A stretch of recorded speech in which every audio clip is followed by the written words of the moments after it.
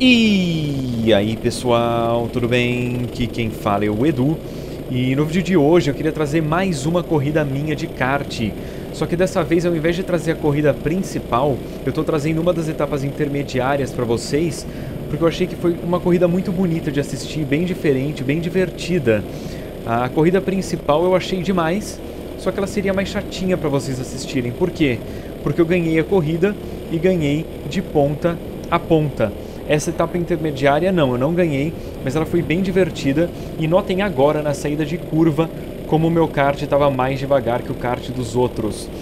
E isso é um problema global, né? Em qualquer lugar do mundo em que você correr, vai haver diferença de desempenho entre os karts. Você, como piloto, deve tentar utilizar isso a seu favor. Quando você tiver com um kart bom, você tem que ir tipo super bem. Quando o teu kart não estiver tão bom, você tem que fazer o possível para ficar na frente.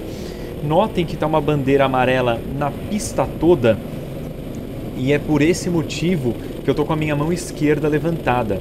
Algumas pessoas me perguntaram no meu vídeo anterior o que, que era isso e esse sinal significa que tem bandeira amarela na pista toda. Você está ao mesmo tempo indicando para os fiscais de pista que você recebeu uma mensagem de que a bandeira amarela na pista toda, que você tem que reduzir a velocidade, não é para ultrapassar ninguém, e você está avisando também o piloto que vem atrás de você, que pode ser que você reduza a velocidade bruscamente e que é para ele ficar esperto com isso. Então é um sinal que vai para os outros pilotos e para a direção de prova. É, obviamente vocês viram por que, que teve bandeira amarela geral, porque dois caras bateram, estavam parados no meio da prova, né, no meio da pista. E quando dois karts eles se colidem e há algum risco do kart ficar parado na pista, ou ele gira, ele roda e tal, é bandeira amarela geral e os pilotos envolvidos no acidente têm que se retirar da pista. Vocês viram o pessoal se retirando da pista. Isso faz com que a corrida fique sim bem dinâmica, porque em alguns momentos você vai estar tentando ir o mais rápido possível e de repente você vai ter que reduzir a velocidade. O cara que estava atrás de você vai se aproximar de você, você vai se aproximar do cara da frente, teus pneus vão esfriar e aí na relargada você tem que ficar esperto de acelerar no momento certo, tentar fazer ultrapassagem e ter a noção de que pode ser que teu pneu esteja frio e que você não, não talvez você não consiga fazer ultrapassagem, talvez você não consiga chegar no kart da frente porque você não vai ter temperatura suficiente no pneu para ele ter boa aderência. Eu venho correndo de kart há muitos anos já, eu acho que já faz seis anos que eu ando de kart. Eu estou me adaptando bem com os karts aqui no Canadá e felizmente nessa corrida que vocês estão vendo a temperatura estava muito agradável para o padrão brasileiro. Tava super quente, tava um sol de queimar e assim tava com pouco vento. Isso tudo fez com que a pista ficasse quente fez com que os karts estivessem quentes também. E aí fica muito mais fácil para você aquecer pneu e com o pneu bem aquecido você tem muita aderência. Eu tava tipo, sei lá, eu tava pilotando de forma muito relaxada. Eu tava sentindo mesmo que eu tava com o kart na mão, porque na minha última etapa que vocês viram no YouTube, apesar de eu ter ganho a corrida, eu não tava sentindo o kart na minha mão. Eu tava sentindo que a qualquer momento eu podia derrapar, rodar do nada é, eu estava meio ansioso, meio aflito com isso, mas hoje não, na corrida que vocês estão vendo.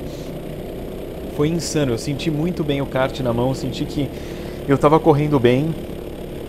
Os caras que vocês estão vendo à minha frente, o de capacete branco, é um cara que tem aparência asiática, mas ele é britânico, o cara é super viciado em corrida. O que está à frente dele é um cara também ultra viciado em corrida, ele é alemão e o lá da frente, também viciado em corrida, é da Eslováquia. Então a gente tinha um grid bastante diverso e eu faço uma ultrapassagem bem bonita, vocês vão ver.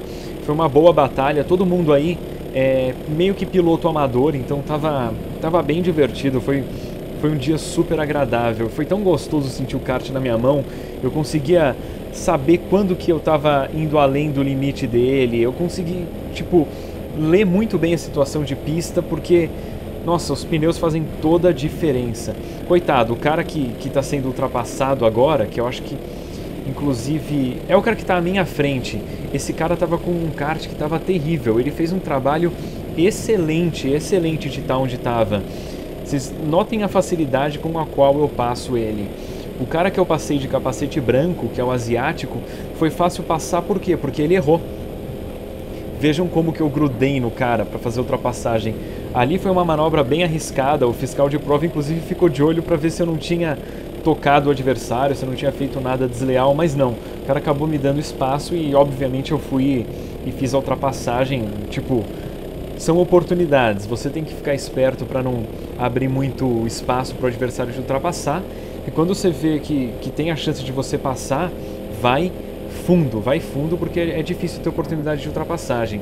Eu tinha certeza que não daria para chegar no, no adversário que estava à minha frente, que estava bem mais rápido, principalmente nas saídas de curva. Acabei ficando em segundo nessa etapa. Se vocês quiserem ver a minha etapa, a última etapa, a corrida principal que eu ganhei, avisem, avaliem o vídeo, porque aí eu vejo que vocês estão interessados e eu trago mais material do tipo. Por isso que eu peço sempre para vocês avaliarem o vídeo. Além de me ajudar com a divulgação, me ajuda a saber o que vocês querem ver. Então se vocês gostaram do vídeo, não se esqueçam de avaliar, não se esqueçam de comentar também o que vocês acharam. Dessa vez eu dei uma modificada um pouquinho na imagem que vocês estão vendo, eu coloquei alguns efeitos só para ela ficar um pouquinho mais bonita. E eu fico por aqui, pessoal. Espero que vocês tenham gostado bastante desse vídeo, porque eu amo correr de kart, amo correr. É, um, é uma das coisas que eu mais gosto de fazer nessa vida, além de jogar videogame e tocar batera. E é isso, pessoal. Ficamos por aqui. Valeu, falou!